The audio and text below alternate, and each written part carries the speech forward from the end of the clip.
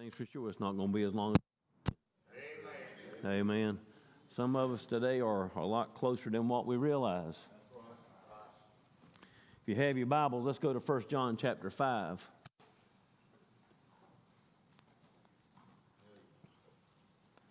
First John chapter 5, just want to remind everybody about our camp meeting starting tomorrow night. The Parson family to be with us singing. Amen. And uh, Preacher Chris from Monday and Tuesday, and then Preacher Patrick Odell Wednesday and Thursday. Listen, we, we, we all know and love Preacher Chris Rumfeld. Amen. So uh, make sure you come for that. But I'm telling you, you don't want to miss Preacher Patrick Odell. Mountain preacher. Amen. Just rear back and go at it. Amen. First John chapter 5. When you get there, let's stand. I'll start reading in verse 11.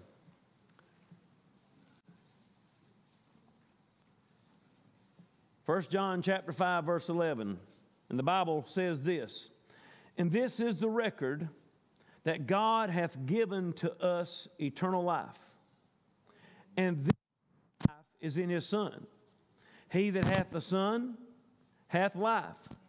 He that hath not the Son of God hath not life. Now listen to this verse.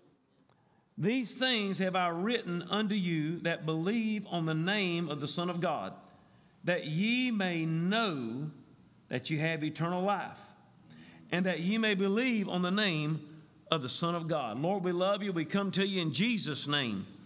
Lord, I ask your hand to be upon us right now. God, help me, to Lord, to do what I cannot do on my own. I need the Holy Spirit to move in me. I pray, God, you'd move through this church. God, you convict hearts. God, you speak to hearts. God, Lord, I can be preaching on one subject and the Holy Ghost can pre- uh, speak on another subject. God, have your hand on us right now, God. Move in this church, Lord. And God, if there's one that's not saved, God, please burden their heart. Help them to get on this altar before it's too late. And whatever's done, we'll make sure Jesus gets all the praise and all the glory. In Jesus' name, amen.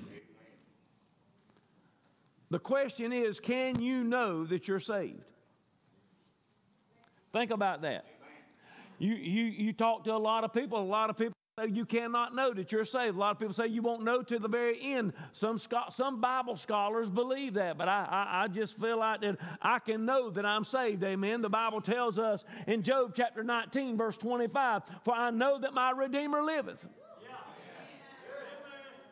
Amen. If Job knew in the Old Testament, glory to God, you and I can know in the New Testament. Amen. The Bible says in 2 Timothy chapter 1, verse 12, For the which cause I also suffer these things. Nevertheless, I am not ashamed, for I know whom I have believed, and am persuaded that he is able to keep that which I have committed unto him against that day. Paul said, I know.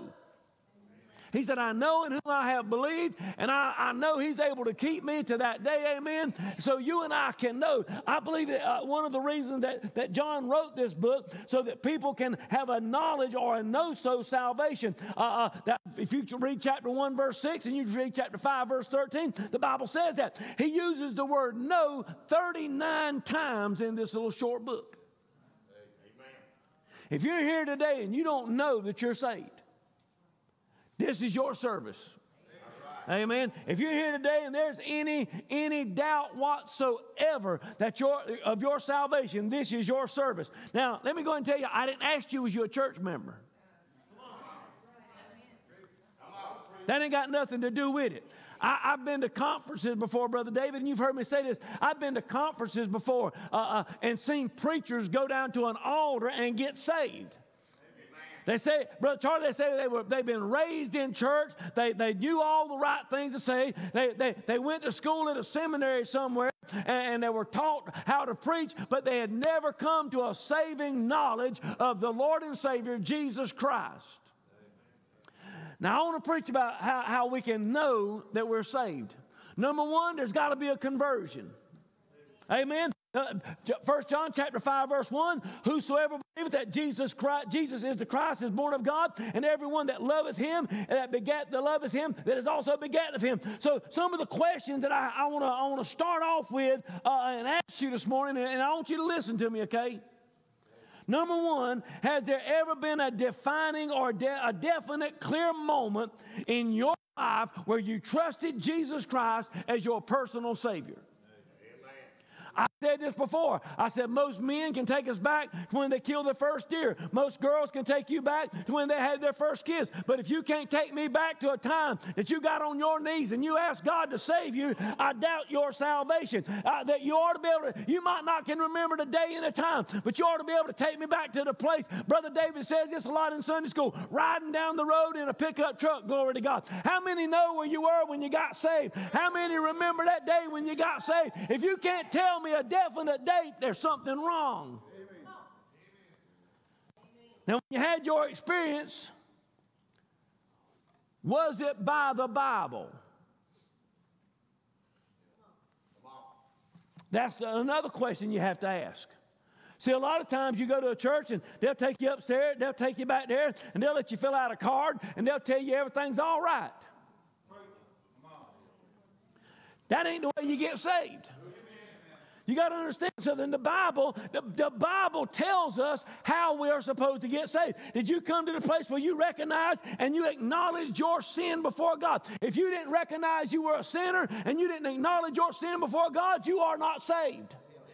The Bible says in Romans chapter 3, verse 23, for all have sinned and come short of the glory of God. Romans chapter uh, 3, verse 10, as it is written, there is none righteous, no, not one. You got to understand, so you got to realize you're a sinner before you can ever get saved. And if you've never come to that knowledge that you are a sinner, and I'm telling you right now, we all got to come to that knowledge that we are a sinner.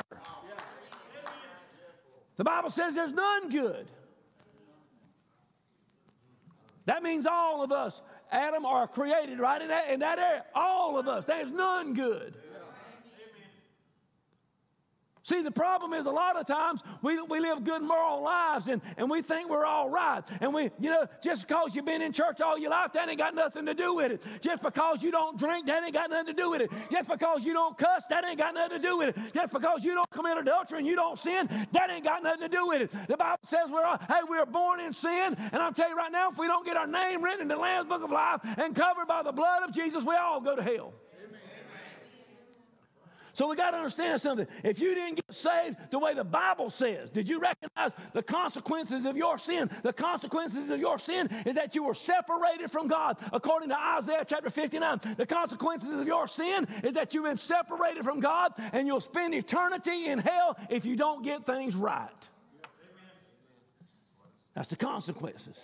Romans chapter 6, verse 23. For the wages of sin is death, but the gift of God mm, is eternal life through the Lord Jesus Christ. Amen. We got to understand something, folks. We got to get to that place where we admit we're a sinner. We believe in the Lord Jesus Christ. We confess our sins. You've got to tell Him. I, I, you know, I, I, hear a lot of people, oh Lord, you know, oh Lord, you know this. Let me tell you something. You ain't got to confess your sin to me because I, I, I can't do nothing about your sin. But you've got to confess your sin to Jesus. You've got to lay it all on the line and say, Lord, I know I'm a sinner. I know this, and I know. But and when you get that, then you can be saved. Amen. The Bible says in Romans chapter 10, verse 13, for whosoever shall upon the name of the Lord shall be saved. If you got saved like I'm preaching about right now, there ought to be no doubt in your mind that you're saved. There ought to be no doubt. Hey, I didn't say we're perfect. Glory to God. Ain't none of us going to be perfect. I'm telling you, you're going to fall on your face, but get back up, keep right on going. But you ought to know that you know that you know that you're saved.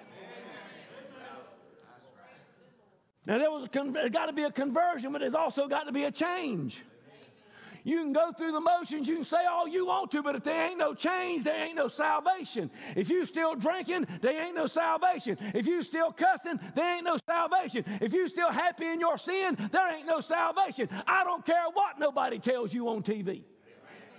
There's got to be a change. The Bible says in 1 John chapter 1, verse 6 and 7, if we say that we have fellowship with him and walk in darkness, we lie and do not the truth. But if we walk in the light as he is in the light, we have fellowship one with another, and the blood of Jesus Christ, his son, cleanses us from all sin. We will have a desire to live right. We will have a desire to do right. We'll have a desire to talk right. We'll have a desire to walk right. I, like I said ago, we all make mistakes. But your life should not be defined by sin when you get saved. We all sin. We all, we all make a mistake. Brother Tony, we all fall, every one of us.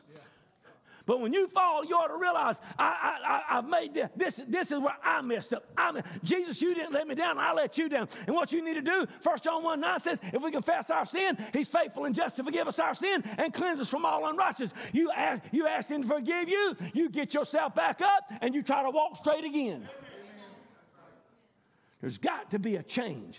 Somebody that says they got saved and they're still living that old life, that's a lie. That's a lie. Got to be a conversion. There's got to be a change. But don't you notice something? There will be charity. There will be love. The Bible says in 1 John chapter 2, verse 9 through 11, He that saith he is in the light and hateth his brother is in darkness even until now. He that loveth his brother abideth in light, and there is none occasion of stumbling in him. But he that hateth his brother is in darkness, and walketh in darkness, and knoweth not whither he goeth, because that darkness has blinded his eyes. Understand something. John refers to this multiple times in the book of John. Chapter 2, verse 9 to 11. Chapter 3, verse 14 to 15. Chapter 4, verse 7 and 8. Chapter 4, verse 11 and 12. Chapter 4, verse 20 and 21. John says you got to love each other. Don't tell me you're a Christian and you hate the one sitting on the other side of the church. Don't tell me you're a Christian and you still got resentment in your heart. Don't tell me you're a Christian and you don't like this one and you don't like that one. I, I might not like their ways, but I've got to love everybody, amen. And understand something. When you get saved and you realize how, how Jesus can love a dirty, rotten sinner like you, it ought to be able for, ought to, ought to help us to to love each other. I love David. I love Tony. I love, I love Larry. Understand something. I got, Greg, I got people that's done me wrong. You do too. And guess what? I love them. Because I guarantee you, nobody's ever done me wrong like I did Jesus wrong. Nobody's ever, nobody's ever done to me like Brother Donald, like I did to Jesus. And if Jesus can still love me after all the stupid mess I've done in my life, I ought to be able to love everybody else because the Bible tells me that. You will love your brother. How is this love going to manifest itself? All right, this is where it's going to get quiet. How is this love going to manifest itself? Number one, this love is going to manifest itself with a desire to fellowship with Christians.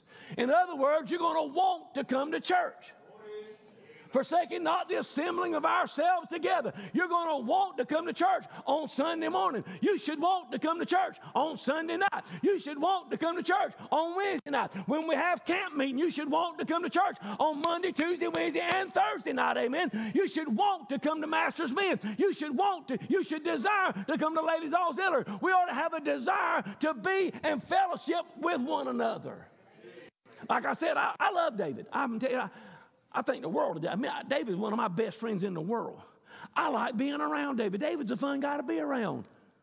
See, some of y'all come to church on Sunday morning and you don't never come back. You don't know what kind of nuts we got in this church.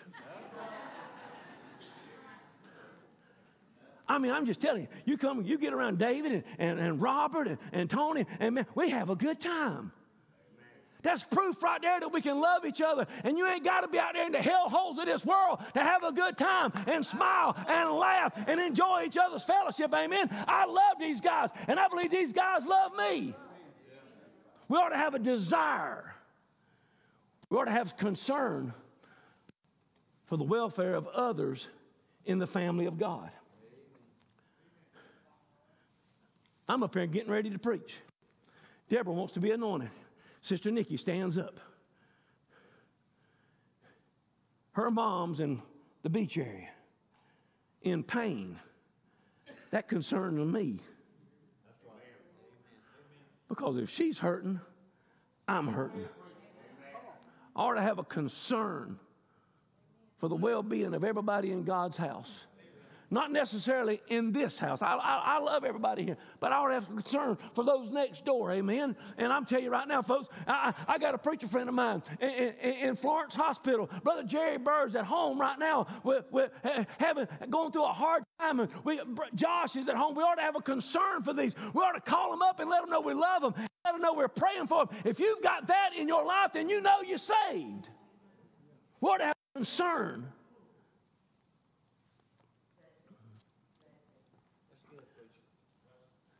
There ought to be a concern when we offend others. There ought to be a real concern when we offend others. Because let me tell you something, it's going to happen. Mike, as good a fellow as you are, and I'm telling you right now, you're a good man. You, you one of the quietest men I know. Mike's, Mike's just easy going. I don't know if nobody, I, uh, Brother Ralph, I don't know if nobody else I know this as easy going as Mike is. And I know as hard as it is for some of us to believe there's somebody that, at some point down in history that Mike has offended. And I know y'all, y'all know as easy go a fella as I am.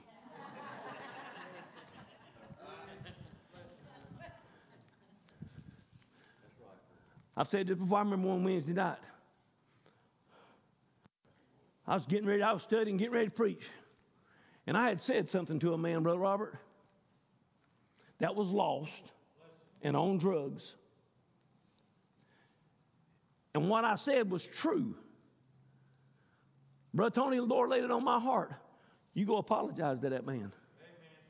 And you better apologize to that man before you get in that pulpit tonight and, pre- and preach. So you know what I did? I went and apologized to that man because I had offended that man. Let me tell you something. You're not perfect, and you're going to say things and do things that offend people. That's life. We ought to have a concern when we offend somebody, and there ought to be a desire to reconcile. And I'm going to say this. If you get mad in church and just quit and go find you another church, you ain't trying to reconcile. You ain't trying to reconcile. What you're doing is you got mad, and I'm going to go over there and I'm going to cool off, and then I'm, i might come back later on and ask you to forgive me. No, that, that's not reconciliation. Folks, I'm just telling you, if me and Brother Robert have a falling out, I'm going to Robert's house tonight. We're going to work this thing out before any. I, that, that's the way we ought to be in our life. That's the way Christians ought to be. The Bible says that you take somebody with you and you do your best to try to work it out. That's when you know you're saved. When you're trying to line up, Brother David, and do it like the Bible says do it. There's going to be a conversion. There's going to be a change. There's going to be charity. But glory to God, we got a companion. The Bible says in 1 John chapter 4, verse 13, hereby know that we dwell in him and he in us because he hath given us of his spirit. How many y'all realize you got somebody with you everywhere you go? See, it's real easy, Brother Barry, for us to say that. It's real easy, uh, Brother Ed, for us to say, oh, the Holy Spirit goes with me everywhere I go. How about when you're turning on things you ain't got no business turning on? How about when you go to places you ain't got no business going? You better realize He's still with you. And He's watching everything we do. But glory to God, I like it when, when, when I can come into God's house and I feel that companion, Brother Skip. I, I, like it when, when, when the choir is singing and you can feel something stirring in your heart. That's when you, glory to God, that's when you know you're saved. Amen. When you got when you West, when you when you know, I, am talking about. Listen, when I when I was lost, I I I, I, I like I like doing things, and I, I I get excited about things, you know, and uh, and that, that's understand that's life. I love playing ball. I get excited about ball. I get excited about basketball. I get excited about baseball. I get excited about uh, uh, uh, watching a movie or whatever. But I can come to church, glory to God, and sit down on this pew right here, and I, I feel somebody move in beside me. I feel somebody that's set right there. I can be going down the road now, listening to some good gospel music or listening to some preaching, and I got somebody that'll get in the truck with me, glory to God. That's what I'm talking about. I got a companion. Everywhere I go, he goes. Everything I do, he does. Everything I see, he sees. And every word I say, he hears. Let me ask you a question. Do you know you're saved? Do you know that you're saved. Well, preacher, I'm lining up with most everything you preached.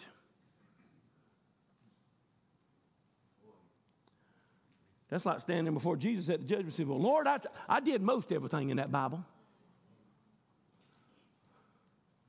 No, everything I preached this morning, that will be there if you're saved. Yeah, everything. You can't have one this point and not take that point. You can't have a conversion and not have a change. You can't have a conversion and have a change and not have charity. Amen? Let me ask you a question. How many, I want you to bow your heads with me right now. Brother Robert, come back, sing that last song again.